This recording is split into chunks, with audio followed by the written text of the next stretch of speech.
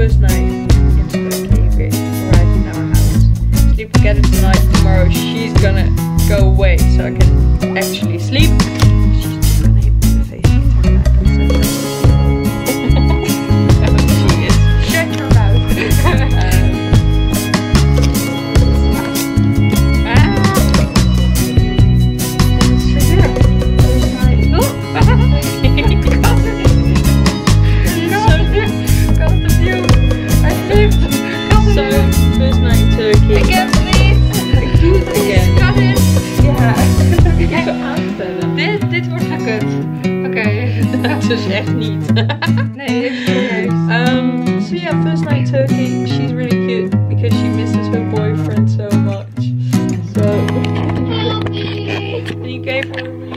Present because it's their one year anniversary this week.